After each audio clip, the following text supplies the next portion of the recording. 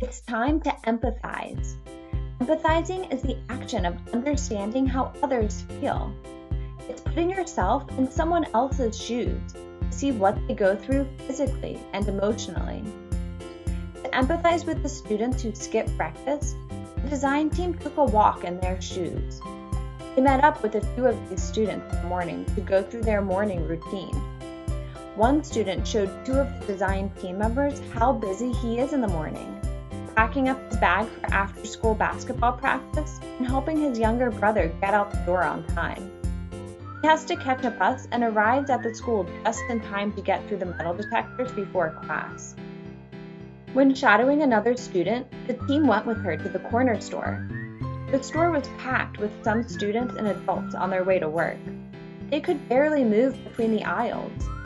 The woman working at the counter wasn't very speedy, and the student shared that she tried to order a breakfast sandwich before, but it takes so long she usually doesn't bother.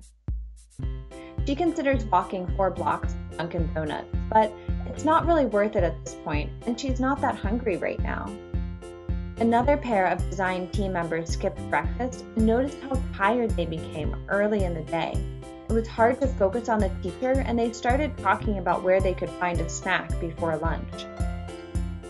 Now that the team understands what the students who experience this problem feel, they created a design problem statement to guide their design work.